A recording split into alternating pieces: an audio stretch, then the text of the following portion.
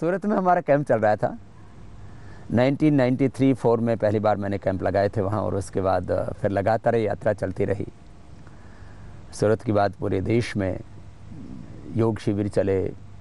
लाखों करोड़ों लोगों ने फिर उसमें धीरे धीरे भागीदारी की। योग का एक पूरा जन आंदोलन देश में खड़ा हो गया। सूरत में जब हम थे, तब एक भाई वहाँ बवासीर की दवाई देते थे। हमने पता किया कि भाई देते क्या? अब वो कुछ मंत्र पढ़ें लोगों को बता के ना दें और कुछ ऐसे एक दो चीनी के दाने उसमें डाल दें, दूध में और कहें कि दूध पी लो, ठीक हो जाएगा। तो एक व्यक्ति ने बहुत चेष्टा करके पता लगाया कि ये जो एक कप दूध पिलाते हैं, उसमें नींबू निचोड़ के पिलाते हैं। वो नींबू का प्रयोग हमने बताया। और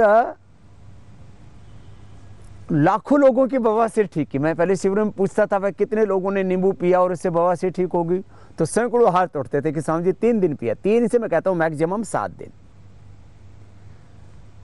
खाली पेट एक कप दूध में नींबू निचोड़ करके, अब इसमें मैंने तो ठंडे दूध में पिलाया। पूज्य आचार्य जी कहते हैं कि थोड़ा सा गुनगुना दूध हो तो जो, जिसको अनुकूलता हो, वह दोनों करके देख लेना। तो हमने तो ऐसा देखा कि या तो धारोषण दूध हो, गाय का दूध, या गर्म करके थाली में डाल दो दूध और पंखा चला दो, ठंडा हो जाता है। अभी तो वैसे ही ठंडा है, सर्दियों में तो थाली में डालो, ठंडा हो जाता है। तो एक कप दूध में एक नींबू निचोड़ा और तुरंत पी गए। खाली पेट। तीन से सात दिन में बवासीर ठीक हो जाती हंड्रेड परसेंट।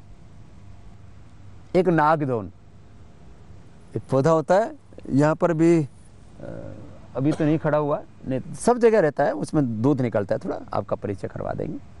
नागदोन दिखा देंगे। तीन से सात पत्ते, तीन, पाँच, सात पत्ते उसके खा लिए। तीन दिन में बाबा से ठीक, पहले ही दिन से ब्लीडिंग बंद। जब हम गुरुकुल में पढ़ा करते थे, तब मेरा एक सहपाठी था, सत्यदेव जी। तो उन्होंने भी ये प्रयोग हज़ारों लोगों को करवाया। फिर मैंने अपने शिविरों में बताया, देसी कपूर। देखो, एक तो केमिकल वाला कपूर होता है। एक देसी कपूर जो औषधि के काम आता है, क्योंकि केमिकल वाला तो कपूर पचास रुपये किलो आता है और जो प्योर कपूर होता है, वो तो पाँच सौ रुपये किलो से भी ज़्यादा महँगा होता है। इसलिए हमने पतंजलि पूजा सामग्री में प्योर कपूर भी उपलब्ध आपको उपलब्ध करवाया है। खैर, जिसको देसी कपूर बोलते हैं, भीमसेनी कपूर बोलते हैं उसका लगभग दो चने के बराबर, छोटे बच्चों को तकलीफ़ है तो एक, नहीं तो दो चने के बराबर केले में डाल करके, मैंने अपने हाथों से खिलाया लोगों को। केले को काटा और उसके अंदर एक छोटा गड्ढा बना लिया, केले का इतना सा टुकड़ा ले लिया।